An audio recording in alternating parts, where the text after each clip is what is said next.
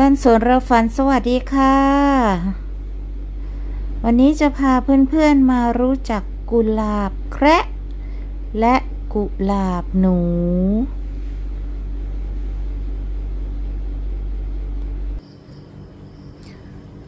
ผสมติดใจกุหลาบแล้วค่ะ ซื้อมาเพิ่มอีกสองกระถาง อันนี้จะเป็นกุหลาบหนูค่ะ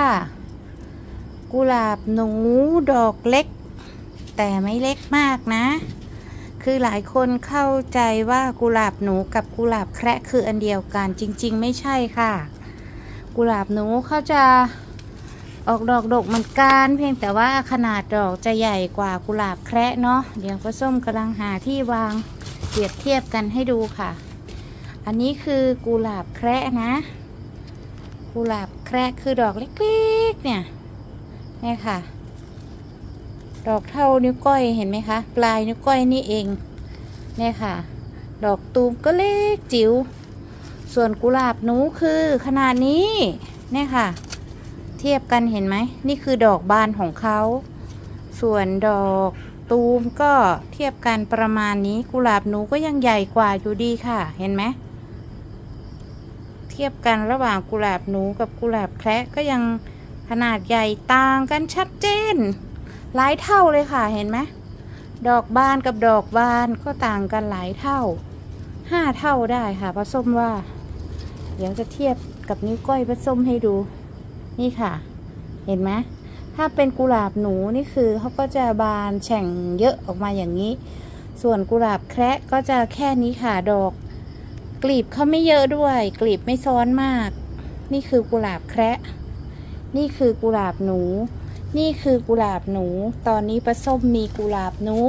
สีชมพูอ่อน สีชมพูเข้มคือแดง แล้วตัวนี้คือสีส้มค่ะ ตัวสีส้มนี่กำลังจะออกดอกเห็นไหมกำลังแตกยอดใหม่เต็มเลย อีกไม่นานสีแดงกับสีชมพูก็จะบานให้เราเห็นเนี่ยค่ะพรุ่งนี้เลยเนี่ยดอกเนี้ยหลายดอกเลยเดี๋ยวปลาส้มต้องแกะกระดาษห่อออกนี่ค่ะ เปรียบเทียบขนาดให้ดูอีกรอบนึง เห็นไหมต่างกันนะ ขนาดต่างกันค่ะห้าเท่าได้ค่ะ นี่ขนาดเทียบกระดอกที่เขาเริ่มจะบานแล้วก็ยังกุหลาบหนูยังใหญ่กว่าอยู่เลยเนาะกุหลาบแคระกับกุหลาบหนูคนละอย่างกันจ้า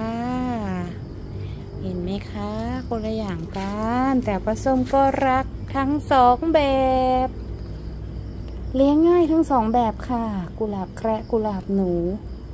ยังขาดสีเหลืองนะ เดี๋ยวไปหาให้ครบคอลเลกชัน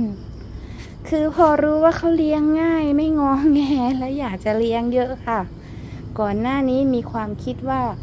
กุหลาบนี่คือเลี้ยงยากต้องทนุถนอม อันนั้นน่าจะเป็นกุหลาบอังกฤษเนาะต้องดูแลประคบประงม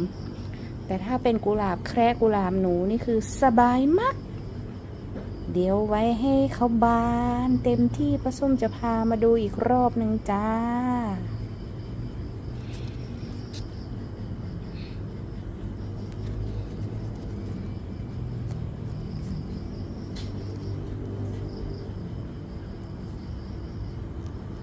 พาชมสวนยามค่ำคืน ราตรีสวัสดิ์ค่ะ บ๊ายบาย